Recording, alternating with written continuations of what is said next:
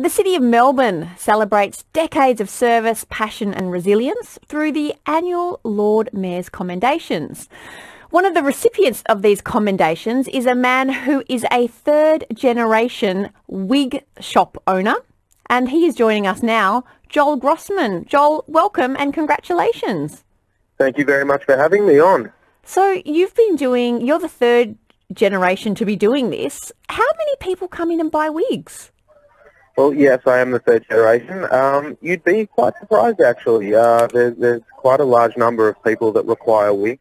Um, and uh, it is a bit of sort of like a, a, side thing. Not many people think about it as a whole, but um, we have a very broad and diverse client base. Um, you know, you, would be surprised. We, we do a lot with sort of the medical industry, um, the theatrical industry, uh, film and television. Um, it's it's very diverse, so uh, it's really amazing.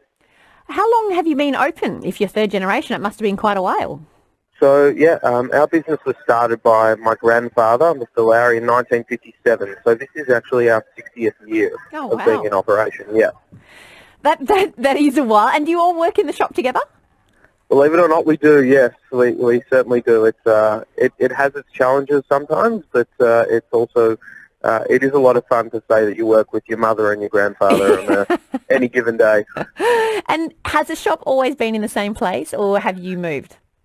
So um, we originally we were on the corner of Bourke and Swanston, Mm-hmm. um, and uh, well, it actually started before that because uh, my grandfather had a pharmacy in um, at the corner of Bourke and Swanston, and he opened up the wig store at the same time um, with the pharmacy as well. So um, we started at Bourke and Swanston, and then uh, we moved probably about 30 odd years ago to uh, where we are now, which is just a bit further up the road on Swanston Street.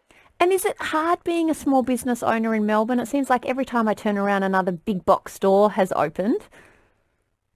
Yeah, look, I mean that, that's that's the situation at the moment. Um, small business, whilst it is a really amazing thing to, to be a part of, and uh, you know with the commendations, it is um, recognised. But um, you, you always kind of look out at the, the bigger companies that are coming over and, and starting up. But um, because our product and, and our brand is so you know specific, um, people really know that you have to try the, the wigs on and you have to really, it's a personalised experience. Of Mm. course you can go online and, and buy something online like you can with anything, but um, in, in our situation it is really a personalised thing. So there are of course challenges, but um, we have to stick to our, our strengths and, and that's pretty much what we do. So I'm really interested about the kind of people that, that come in to buy wigs. You mentioned some people in the, the medical uh, world. Tell us more Yep. about your, your clientele.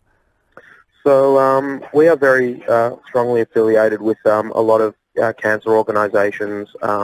For example, there's an organisation called the Look Good Feel Better program, Yep. and uh, one of our girls actually goes to demonstrate. It's it's a brand neutral thing, so we don't go to, to sell. It's more to just um, To sit show. with cancer patients, Mm. show them how to put on wigs and how to sort of prepare them for that sort of um, chapter of, of their treatment Mhm. and it can be really overwhelming and, and quite challenging for them. So we're trying to kind of ease them into it.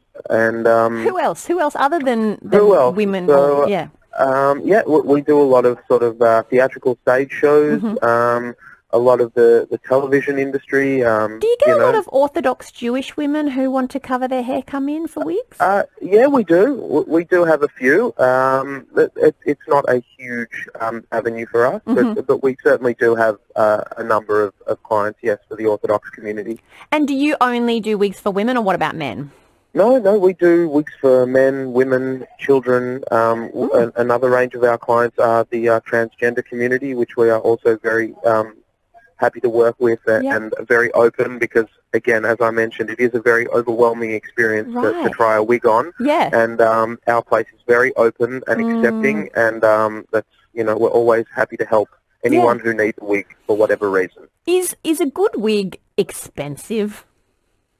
Uh, i i- believe it or not, in this day and age, um, not really. So uh, synthetic has come a long way in um, its technology, and there is a real misconception with uh, synthetic. You know, a lot of people think synthetic, uh, you'll be able to pick it from a mile away, it'll be like a party wig or something like that. Yeah.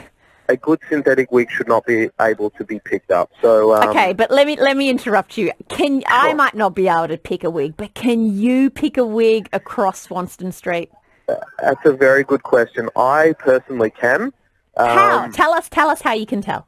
Uh, look, it's very hard. I, I would have to say, having been in the industry for 10 years and seeing a fair share of, of people wearing wigs and walking in and out of our place, I can usually pick it. But Hmm. there are some that have fooled me in the past. Oh, well, if they'll fool you, then I think they'll fool anyone. right. Congratulations, Gro- Joel. Grossman, on winning uh, one of the, the mayor's, uh, well, being a recipient of one of the mayor's awards. It's a big achievement for you and your grandpa and mum, so congratulations. Thank you very much. Yep, I really appreciate it. Thanks for joining us.